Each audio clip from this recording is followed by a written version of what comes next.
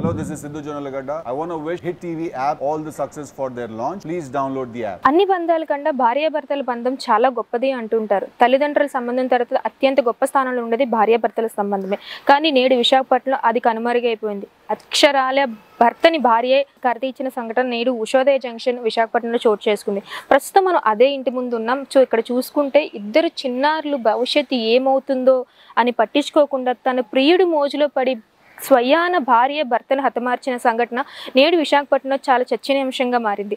ఏదేమైనా సరే పిల్లల భవిష్యత్తు ఏంటి? నేడు ప్రశ్నార్థంగా మారిన పిల్లల భవిష్యత్తుపై ఆ స్వయాన రమేష్ గారు ఎవరైతే మృతుడు రమేష్ గారి వాళ్ళ అన్నయ్య అప్పలరాజు గారు మనతో పాటు ఉన్నారు అలాగే మనం ఇక్కడ చూసుకుంటే పిల్లలు కూడా చాలా అందంగా ముద్దుగా ఉన్నారు. సో లోపలికి వెళ్దాం. సో ఆ ఘటనా స్థలం దగ్గర ఉన్నాం. ఏ జరిగిందో ఎలా జరిగిందో ఎందుకు భార్య భర్తని చంపాల్సిన అవసరం ఏమొచ్చిందో అందరికీ తెలిసిన విషయం. టాక్సీ డ్రైవర్ ఆయన మోజులో పడి భార్య సొంత భార్య భర్తని హతమార్చిన సంఘటన చాలా ఘోరాతి ఘోరమైన విషయం. సో లోపలికి వెళ్దాం. ఏం జరిగిందో తెలుసుకుందాం. ప్రయత్నం చేద్దాం. పదండి. అమ్మ మీరు ఏమవుతారు రమేష్ గారికి? వదినండి. వదిన అవుతారు సో మనం ప్రస్తుతం రమేష్ గారు ఇంటి వరదే ఉన్నాం. సో వదిన గారు రమేష్ గారికి వదిన గారు స్వయాన? సో ఆమె మాట్లాడి తెలుసుకున్నాం అమ్మ ఎందుకు శ్రీవాణి అలా చేయాల్సి వచ్చింది? పెళ్ళై ఎన్ని సంవత్సరాలు అయింది పెళ్ళై పన్నెండు సంవత్సరాలు. పన్నెండు సంవత్సరాలు అయింది ఇద్దరు ఆనిముత్యాలు లాంటి ఆడపిల్లలు చాలా అందంగా ఉన్నారు.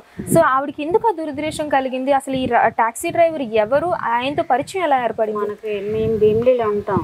ఇక్కడ వరకు ఇంటికి వచ్చిన వరకు ఏం తెలియదు. భీమిలీలో ఇలా ఏడు సంవత్సరాలు చేశారు.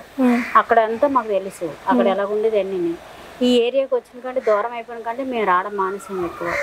ఇక్కడికి వచ్చి సంవత్సరంన్నర ఎంత అయింది వీళ్ళు వచ్చి ఇక్కడ ఏం జరుగుతుంది అనేది మాకు తెలిసేది కాదు. మా మరిది గారు కూడా మాకేం చెప్పారు కాదు. బాగానే ఉన్నాం అన్నారు ఇద్దరు ఏదైనా. అలా ఆవిడని ఏదైనా ఎవరైనా ఏదైనా చెప్పినా నమ్మడు కాదు. మా ఆవిడ మంచిదే. మా ఆవిడ మంచిదే అన్నాడు అంతే. అంతవరకే కానీ ఇంత కొద్ది వాళ్ళ అక్కకు కానీ మాకు కానీ ఏ విషయం చెప్పాడు కాదు. అంటే శ్రీవాణి వాళ్ళ అక్క గారా ఆమె ఆహా, రమేష్ వాళ్ళ అక్క. రమేష్ గారి సొంత అక్క. సొంత అక్క. ఉమ్, నేను వాళ్ళ సొంత వదిన్ని. ఓకే. ఆ. అంటే ఎన్ని సంవత్సరాలు భీమిలిలో ఉండేవారమ్మా? ఏడు సంవత్సరాలు ఉన్నారు. ఏడు సంవత్సరాలు. భీమిలి స్టేషన్లో డ్యూటీ చేశారు ఏడు సంవత్సరాలు. ఆ, సంవత్సరం అయింది ఇక్కడికి వచ్చి. ఇక్కడికి వచ్చి సంవత్సరంన్నర అంతే సంవత్సరంన్నర కూడా అవ్వలేదు. సంవత్సరం అంతా అవుతుంది. సంవత్సరం అయింది. రెండు సంవత్సరాలు అవుతుంది. రెండు సంవత్సరాలు వచ్చింది. అసలు ఈ టాక్సీ డ్రైవర్ విషయం మీకు ఏమైనా తెలుసా? రామారావు విషయం? తెలియదు ఒక్క విషయం తెలియదు ఎక్కడ ఏదైనా తెలిసినా మా మధ్యకి గబ్బుకుని బయట వాళ్ళు ఎవరైనా చెప్పినా నమ్మడు. మా ఆవిడ మంచిదే అన్నాడు అంతే. అంతవరకు కానీ మా వరకు అయితే ఇది తెలిస్తే మేము అప్పుడే ఆ అమ్మాయిని పట్టుకొని బయటకు పంపించేసి మా పిల్లని మేము తీసుకెళ్ళిపోయాం. కానీ మా వరకు ఆ పిల్లడు మా వరకు రానవ్వలేదు ఎవరికి చెప్పలేదు. మా ఫ్యామిలీ వాళ్ళకి ఎవరికి ఏం జరుగుతుందని ఇంట్లో అనేది చెప్పాడు కాదు. మేము. ఎక్కువ రాలేదు. ఇప్పుడు వాళ్ళ దిగి రెండు సంవత్సరాలకి రెండు సార్లు ఇంటికి వచ్చి అప్పుడు వచ్చి అప్పుడు వెళ్ళిపోవడమే. అంతవరకే కానీ ఒక రోజు ఇక్కడ ఉండలేదు వచ్చి. అదే మాకు. అంటే చిన్నప్పటి నుంచి తమ్ముడు నేను కలిసి వాళ్ళిద్దరు. అంత ఐకమత్యంగా ఉండేవారు. అంత ఐకమత్యం ఉన్న కూడా నాకు కూడా చెప్ ఏ విషయం నాకు చెప్పారు అలాగే ఇలాంటి విషయాలు కూడా నాకు చెప్పలేదు. నేను అడిగి ఏంటి రమేష్ ఆ, ఆవిడ ఇప్పుడు ఈ మధ్యన టిక్ టాక్ ఒకటి నేర్చుకుంది. మా ఫ్యామిలీ వరకు రాలేదు. ఆ, అయితే ఏంటి రమేష్ టిక్ టాక్ చేస్తుంది? నేను పిల్లలు కూడా చేయిస్తుంది. అనేసి అంటే మాట ఆడలేదు మౌనంగా ఉండిపోయాడు. కానీ ఆ రోజు మా అమ్మకి సంవత్సరం మాట మేము కూడా దీవుల్లో ఉంటున్నాము ఏంటంటే సంవత్సరం ఉన్నాడు వచ్చాడు. వచ్చి ఉండి రమేష్ ఏమన్నా తిను చెయ్యి అంటే లేదా డ్యూటీ టైం అయిపోద్ది ఏదంటే కల్పిసి ఇచ్చేయి మరి. కల్పిసి ఇచ్చా అంటే నేను ఏం చేశాను మరి ఏం తాగుతావు అంటే ఆర్లిక్స్ చెయ్యి చేస్తాను అయితే ఉండొచ్చు కదా ఎండ ఉంది రెస్ట్ తీసుకొచ్చినంత అమ్మ డ్యూటీ టైం అయిపోతుంది అక్క వెళ్తాను అమ్మకి ఇవన్నీ చేసి అలా వెళ్ళిపోతాను అన్నాడు. తర్వాత మేము ఒకటో ముప్పై ఒకటి ఇచ్చారు తమ్ముడు వాళ్ళు మేము ఒకటో తారీఖు నుండి మళ్ళీ వైజాగ్ వచ్చాం. వైజాగ్ వచ్చామంటే ఇక్కడ లేము. పిన్నలు ఉన్నారు అక్కడ. పిన్నల ఇంటికి వచ్చాను. వస్తే చాలాసేపు మాట్లాడాడు నాతో. ఎప్పుడంటే తమ్ముడు చిన్న ముక్కే ఎక్కువగా మాట్లాడేవాడు కూడా కాదు ఎవరితోనైనా. అలాంటి నెమ్మదిగా గంటసేపు మాట్లాడేవాడు. గంటసేపు మాట్లాడాడు నాతోటి. ఇది అది చెప్పుకొని అలాగే ఏదో మాట్లాడుకుని మాట్లాడాడు. ఆ తర్వాత నైట్ అయ్యింది. నైట్ మా ఆయన కొంచెం దిగ్గించారు అంటే మేనమా అనమాట నాకు మేనమా తమ్ముడికి మేనమా? తమ్ముడు మా దగ్గర ఎక్కువగా ఉండేవాడు. అయితే తాగేసి కొంచెం అలా అడుగుతున్నాడు అక్క మాయ ఏంటి బొర తినేస్తున్నాడు? అన్నాడు. అనేసిన తర్వాత అక్కడి నుంచి మా తమ్ముడు ఉన్నాడు మా పిల్లల కొడుకు ఇద్దరు చాలా క్లోజ్గా ఉంటారు అనమాట తమ్ముడి దగ్గరికి వెళ్ళాడు. తమ్ముడి దగ్గరికి వెళ్తే ఆ ఆవిడ ట్యాబ్లెట్స్ గురించి వెళ్ళాడంట అయితే మాట్లాడుతుంటే ఊరు ఫోన్ మీద ఫోన్ ఫోన్ మీద ఫోన్ చేసేస్తుందంట. ఫోన్ మీద ఫోన్ చేసేస్తే సరే ఆ, అని వదిలికి టాబ్లెట్లు తమ్మన్నా కదా అంటే ఆవిడకి ఏదో ఉన్నాయంట కడుపులోని. అవి వాడడానికంట. అయితే అన్నీ టాబ్లెట్లు తమ్మన్నా కదా నేను తెచ్చాను పట్టుకెళ్ళంటే ఆ మాటకి ఏమొచ్చి వదిలి ఫోన్ చేసేస్తుందిరా నేను వెళ్ళి వస్తాను రాబోసరికంట పిల్లలు చెప్పారు రాబోసరికంట ఎవరైనా అన్నం పెడతారు కదమ్మా? అన్నం పెట్టకంటే మందు గ్లాస్ ఇచ్చిందంట. తాగండి తాగండి తాగండి. తలకాయ ఉండే తాగండి తాగండి అన్నదట. అనగానే ఏమొచ్చి సరే అని ఉండు వస్తానని బట్టలు షార్ట్ వేసుకొని రామసారి తాగండి తాగండి అనేసి తాగిచ్చిందంట. తాగిస్తే మరి ఎన్ని గంటలు జరిగిందో మనకు తెలీదు. నిన్న వైజాగ్ వచ్చానని చెప్పాను అనమాట వైజాగ్ వచ్చానని చెప్తే ఆ తర్వాత నన్ను అన్నది పిన్ని పిన్ని నీ తమ్ముడు పగలట్లేదు పిన్ని ఏమైంది తెలియట్లేదు పిన్ని ఒకటో తారీఖున. ఆ, అంటే ఏమైందో తెలియట్లేదు పిన్ని మీరు అర్జెంటుగా రండి పిన్ని అంటే నేను ఏం చేసి అంతకుముందు మా పిల్లలు వచ్చారు. మా పిల్లలు ఫోన్ చేసిందంట అత్తయ్య కదలట్లేదు అనేసి అంటే పిల్లలు రాబోసారు పిల్లలు అంటే నాకు హెల్త్ సరిగ్గా ఉండదు అనమాట ఏదైనా రాత్రి విషయం చెప్తే ఏమైపోతున్నా అనేసి నాకు తమ్ముడి విషయంలో కానీ ఎవరైనా నెమ్మదిగా చెప్పేవారు. అయితే అమ్మ కదలట్లేదమ్మా రా వచ్చి అమ్మ అంటే మా పిన్ని. అనగానే గబగలు గబగలు వచ్చేస్తే ఏమైంది అసలు? ఎంత బాగా మాట్లాడాడు. నైటు మళ్ళీ మాకు కూడా చేశాడు.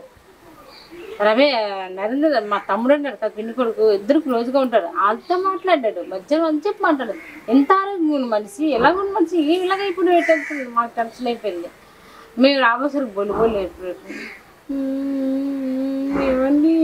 నాకు మీరు చనిపోతే పోలీస్ జాబ్ వస్తుంది అన్నారు మీకు హ్యాపీ అన్నారు. నాకు ఒంట్లో ఏంటి నాకు నేను ఏమైనా ఎక్కడైనా ఏమైనా అయిపోతే నీకు అంటే ఇచ్చేయించాడంట. ఇన్సూరెన్స్ చేయించాడంట.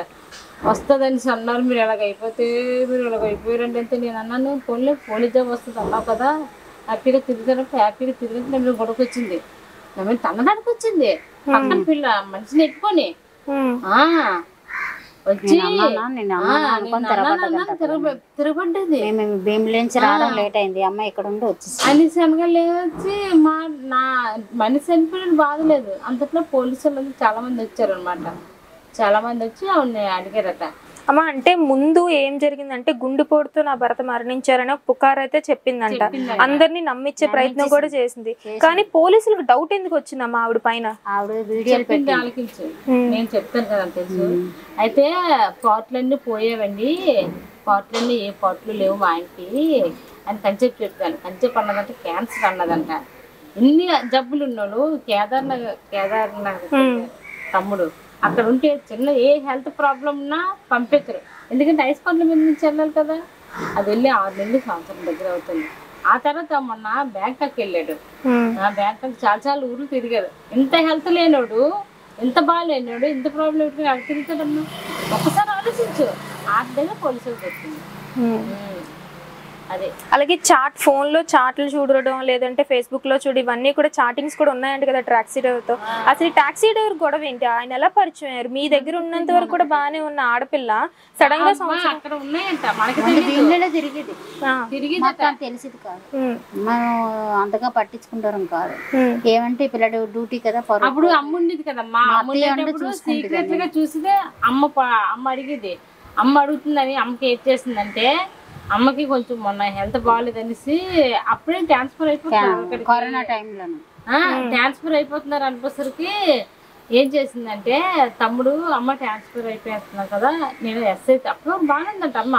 ఎస్ఐతో అడిగేసి నేను వస్తాను ఎక్కడ వేసారో ఏటో అనేసి అంటే సరే బుర్ర ఊపిందంట. బుర్ర ఊపిన తర్వాత రాబోసరికి ఇంకా రాలేదంట తమ్ముడు. పాలు పడుతుందంట. తమ్ముడు ఏంటంటే పట్టచ్చు కదమ్మా తమ్ముడు బయటకు వెళ్ళిపోయిన తర్వాత ఎస్ఎన్ అడిగేసి వస్తానంటే ఎక్కడెక్కడ అనుభవసరికి పాలు పెట్టేస్తుందంట. తోసేస్తుందంట. వద్దు వద్దు వద్దు అనేసి ప్యాక్ పట్టుకొని పట్టేస్తుందంట. అయితే అప్పుడు మేము వైజాగ్ ఉన్నాం అనమాట తర్వాత తెలిసి వీళ్ళు ఫోన్ చేసిందంట. అప్పుడు అమ్మ ఏం చేసిందంటే ఇలా తోసింది కదమ్మా. ఇలా తోసిన తర్వాత గిరి గిరి గిరి గింజుకొని కిందన పడిపోయింది. మంచం దున్ని వెతికి కిందన పడిపోయిందంట. బ్లడ్ ఇలా తాగేసింది. ఉమ్, వదిలి చెప్పింది విషయం నాకు వెళ్ళిందంట వెంటనే. ఎలబోసరికి మంచం మీద కట్టేసి మంచం మీద వదిలేసి అవతల రూమ్లోకి వెళ్ళి సెల్ల మాట్లాడుతుందంట. అప్పుడు గసిరట్టు ముద్దమ్మ ఏంటి మా అమ్మని ఎలా వదిలేసావని. కానీ అప్పుడే కానీ అమ్మకి కానీ మరి అప్పుడు అంతలాగా అంత సీరియస్ సిచ్యువేషన్ అయినప్పుడు మీరు ఎందుకు పట్టించుకోకుండా వదిలేసారు ఈ అబ్బాయి కానిస్టేబుల్ కదా ఆఫీసర్ నేను చేయను అంటే ఈయన ఎందుకు ఆపడం జరిగింది? అంటే ఎలాగంటే హెల్త్ బాగలేదు కదా. హెల్త్ బాగాలేదు కదా. అలాగే అయ్యి ఉంటది అనేసి అనుకున్నాడు. కానీ ఇలాగ ఈ ప్రాబ్లం కూడా వయసు అయిపోయింది. అలాగే తమ్ముడి విషయంలో కూడా అలాగే అనుకుంటా కానీ ఇలా ప్లాన్ చేస్తుంది. నేను అమ్మను వదిలేయడం వల్ల మళ్ళీ ప్లాన్ చేసింది ఇప్పుడు ఇది- ఈ విషయం కూడానా? ఏది తెలియపోను. కామ్ చేసేద్దాం అనుకుంది. అలాగే అయ్యింది కదా ఇలా కామ్ చేసేద్దాం అనుకుంది. కానీ పోలీసు వాళ్ళకి రకరకాల మాట్లాడడం వల్ల దొరికింది. బాడీ కూడా అది. అంటే ఈవిడికి మీరు చెప్పిన ప్రకారం మందు గ్లాస్ పట్టించింది అన్నారు. ఆ మందు ఎక్కడి నుంచి తీసుకొచ్చింది? ఎవరైనా ఇచ్చారా? అలానే కొంతమంది అంటే చూసిన ప్రకారం ఏంటంటే రెండు లక్షలు ఇచ్చి సుపారీ ఇచ్చి చంపించే ప్రయత్నం చేసింది. ఏ వన్ కింద ఈమె ఏ టూ కింద ఎవరైతే ఏ త్రీ కింద ఎవరైతే సుపారీ తీసుకున్నారో ఆయన ఏ త్రీ కింద పెట్టడం జరిగింది. సో ఈయన పరిచయం ఎలాగా? ఈయన సుపారీ వ్యక్తి తెలిసింది ఇప్పుడు మేము మేము చేసేది ఏంటంటే ఏది ఉన్నా సరే ఏది వచ్చినా సరే చిన్న పిల్లలు ఆడపిల్లలు వాళ్ళకే దక్కాలి. అదే అనేసి నేను పోలీసు వాళ్ళని కోరుకుంటున్నాను. పోలీసు వాళ్ళని నేను కోరుకుంటున్నాను.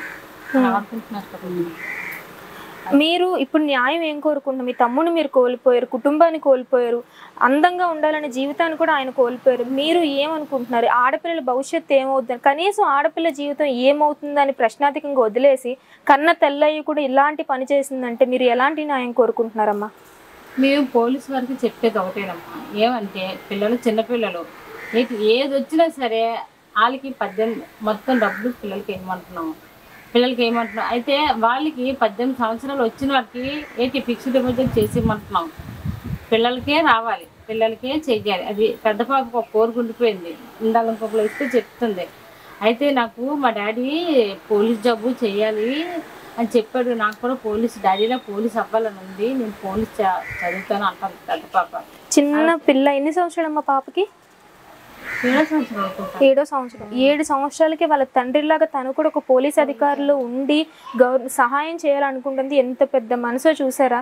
చిన్న పిల్లకి తన తండ్రిని ఆసరాగా తీసుకొని గవర్నమెంట్ దగ్గర పని చేయాలని చెప్పి నిజంగా పిల్లల్ని ఎలా వదిలి వెళ్ళిపోయిందో అర్థం కావట్లేదు కన్నతల్లి కన్న తల్లి. అమ్మ మీరు నిజంగా ఇదే ఇంట్లో ఉండేవాళ్ళ? వాళ్ళు? ఇదే ఇంట్లో నుంచి ఉమ్.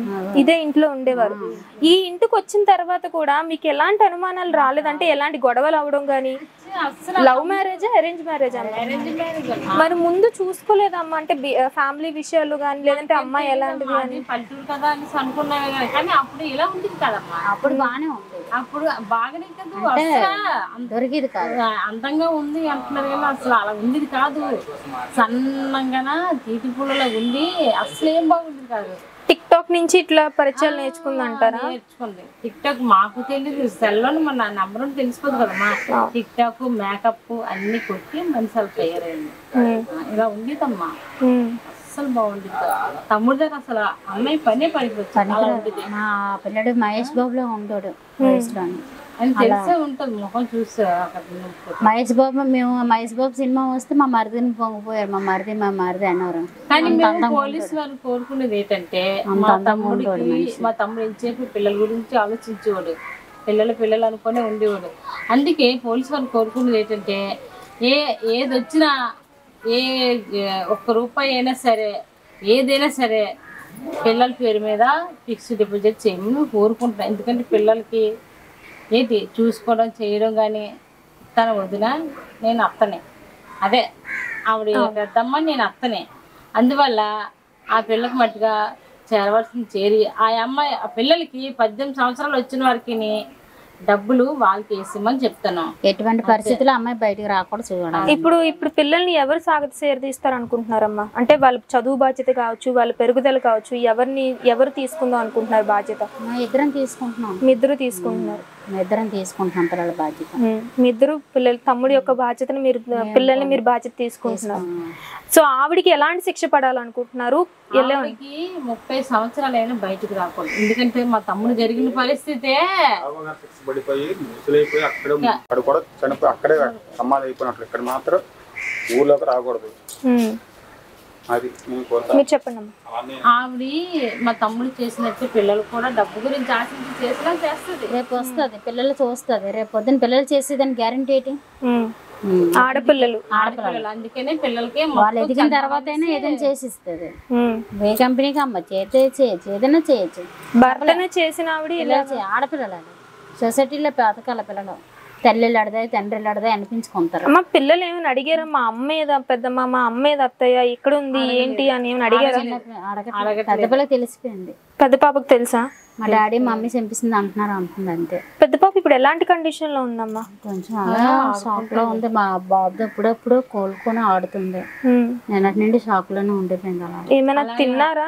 పెడుతున్నాం కూర్చొని అలాగా ఏడ్చుకుని అలా రాత్రి అంతా ఏడ్చుకుని ఫోటో కూడా కూర్చొని అది ఇప్పటికే కళ్ళు పళ్ళు వేసి పిల్ల కోలుకోలేదు చిన్నదానికి తెలియదు ఇప్పుడు వచ్చి వెళ్ళిపోయింది తమ్ముడు ఎంత మంచోడు. జ్ఞానం తెలియదు డిపార్ట్మెంట్ మా పిల్లడు ఎటువంటి వాడని మేము చెప్పకుండా మీ లోకానికే తెలుసు అబ్బాయి ఎలాంటి అనేసి మనం చెప్పలేము ఒకసారి పిల్లల్ని పిలుస్తారమ్మా. ఫోటోలు అందరు తీసేస్తారు. మరి పొద్దున ఇప్పుడు ఎంతమంది వచ్చారు? ఎందుకంటే ప్రతి ఒక్కరు ఏం చే- పిల్లల్ని పేపర్లో పెడితే వాళ్ళు రేపు పొద్దున్న సొసైటీకి పిల్లలు తెలుసు అందరూ మీ డాడీ ఇలాగా మీ మమ్మీ ఇలా చేసినట్టు కదా మీ డాడీ చంపిందంట కదంటే. రేపు స్కూల్కి వెళ్ళి ఆ భవిష్యత్తు వాళ్ళకి ఇది కదమ్మా అదొకలాగా. ఇప్పుడు స్కూల్కి తోడు పిల్లలు ఆడుకుంటున్నారు.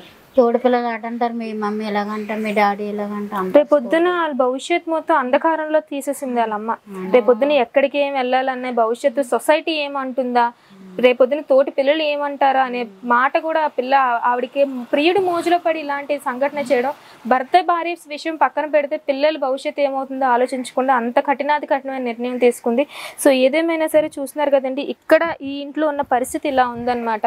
పిల్లల భవిష్యత్తు ఏదైనా సరే అత్త పెద్దమ్మ తీసుకోవాలని నిర్ణయించుకున్నారు. సో ఏదో ఎలాంటి పథకాలు ఏమైనా సరే పిల్లలకి ఫిక్స్డ్ డిపాజిట్ చేసి పద్దెనిమిది సంవత్సరాల తర్వాత పెద్ద పాపని పోలీస్ చేయాలి అంటే తన మనసులో ఉన్న కోరికని సో ఇలాగ వెళ్ళబడుచుకుంది అనమాట సో తండ్రి స్థాయిలోనే పాప కూడా వెళ్ళాలని కోరుకుంటుంది. మరి పద్దెనిమిది సంవత్సరాలు వచ్చే వరకు ఎలాంటి గవర్నమెంట్ పథకాలు వచ్చినా కూడా పిల్లలకే చెందాలని చెప్పేసి స్వయాన పెద్దమ్మ అత్తయ్య గారు అయితే కోరుకుంటున్నారు. సో చూసుకోవచ్చు లోపల ఎంత నిశ్శబ్దంగా ఉందో మనం ఇందాక చూసుకుని కూడా చిన్న పాప వచ్చింది. ఎంత ఎంత అందంగా ఉందో చిన్న పాప అయితే చాలా అందంగా ఉంది. అలాగే పెద్ద పాప కూడా తను ఏం చేయాలో ఎలాంటి పొజిషన్ ఉన్నాను కూడా అర్థం కానీ ఏడు సంవత్సరాలకి అప్పుడప్పుడే ఊహ తెలుస్తున్న వయసు. అలాంటి ఊహ తెలుస్తున్న వయసులో ఇలాంటి విషాదకరమైన విషయం తెలిస్తే ఆ పసి హృదయాలు ఎలా కుంగిపోతాయి? ఏం చెప్పుకోవాలి? రేపు పొద్దున సమాజంలో ఎలా తిరగాలో తలెత్తుకోవాలో తెలియని పరిస్థితులు మారిపోయారు ఆ పిల్లలు. సో ఏదేమైనా సరే ఆ పాపకి ఎలాంటి న్యాయం జరగాలి అలాంటి న్యాయం జరగాలి. అలాగే ఆవిడ కూడా బయటికి రాకుండా చేయాలి. అండ్ రమేష్ గారి విషయంలోకి వస్తే ఎవరైతే మృతుడు రమేష్ గారు ఉన్నారో ఈయన రెండు వేల తొమ్మిదో బ్యాచ్ బ్యాచ్లో చాలా టాపర్ అని విన్నాము. అలానే చాలా యాక్టివ్గా ఉండే పరిస్థితి అందరినీ కూడా కలుపుగోలుతనంగా ఉండే వ్యక్తి. సడన్గా హార్ట్అటాక్తో చనిపోవడం ఏంటి? మాకు ఇవన్నీ ప్రశ్నార్థకంగా మారాయి. అలాగే ఆయన శవ అంటే మృతదేహం ఏదైతే ఉందో అది కూడా నీలం కలర్లో మారిపోయింది. నిజంగా హార్ట్ అటాక్తో చనిపోయిన వ్యక్తులు ఎవరైనా సరే ఇలా మారరు కదా అనే ఒక డౌట్ అలా అన్నగారైన అప్పలరాజు గారితో రావడంతో ఈ క్వశ్చన్ ఈ కేసు ఒక కొలిక్కి రాంది. సో అలానే చాలా ప్రదేశాలు తిరిగిన రమేష్ గారు సడన్గా ఇలాంటి హార్ట్అటాక్తో రావడం మాకందరికి కూడా ఆశ్చర్యకరంగానే ఉంది. అందుకే ఇదే క్రమంలోని పోలీసులు ఆవిడ కేసు అంటే ఫొటోస్ కావచ్చు లేదంటే చార్ట్స్ కావచ్చు ఇవన్నీ వెలుగు తీయడంతో అసలైన నిజం బయటపడింది సో ఏదేమైనా సరే పిల్లలకంటూ ఒక మంచి భవిష్యత్తు కావాలి అలానే వాళ్ళంటూ కూడా ఒక మంచి పద్ధతిలో ఉండాలని పిల్లలు కోరుకుంటున్నారు so camera person మహేష్తో Vani Vizag Hit TV app, all the success for their launch. Please download the app. Download the Hit TV app now. Please download the app now. Please download the app now. Please download the app now. Download the app now. Thank you.